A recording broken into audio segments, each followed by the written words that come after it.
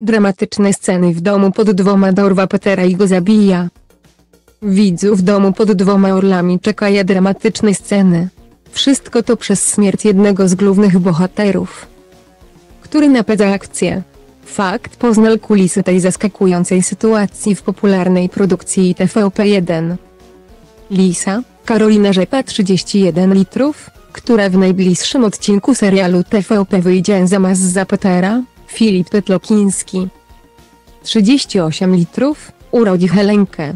Jednak szczęściem nie będzie dane im się cieszyć. Fakt dowiedział się. Zanim w sześć odcinku hitowego serialu TVP1 stęskniona kobieta pojedzie odwiedzić Petera stacjonującego wraz z oddziałem w garnizonowym miasteczku Generalnej Guberni. Do ich spotkania niestety nie dojdzie. Podczas patrolu Peter zginie z rak polskich partyzantów. To będzie dla niej wielki dramat. W najnowszym odcinku hitu TVP1, życie na kresach toczy się leniwie pomimo coraz częstszych wieści o nadchodzącej wojnie i wydaje się, że nic nie będzie w stanie zmacić z tego spokoju. Dorastający rówieśnicy Zbyszek i Wasylko rywalizują ze sobą na każdym polu. Zbyszek ma lepsze stopnie, ale Wasylko jest zdolniejszy. Kochaja się w tej samej dziewczynie, Ukraińca jak silni. Jednak to Zbyszek ma u niej większe szanse. Wasylkę zeraja buntownicze myśli.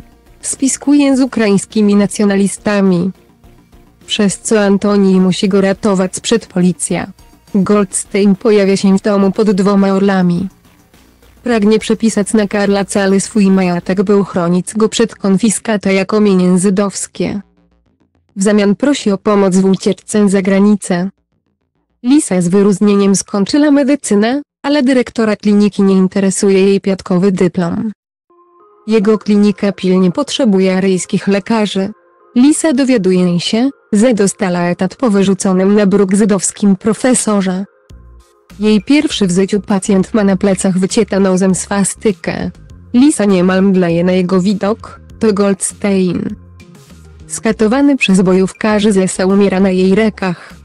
Lisa obiecuje mu, że zaopiekuje się jego rodzina i pomoże im uciec z Rzeszy. Dom pod dwoma orlami odcinek 5. Peter i Lisa wezmą ślub. Co jeszcze się wydarzy? Dramatyczne chwile w domu pod orlami. Pożar skomplikuje losy rodziny Szablewskich. Jeden z bohaterów zginie. Dom pod dwoma orlami zaskoczy widzów. Ślub, udar i powódz, która niszczy majatek Szablewskich.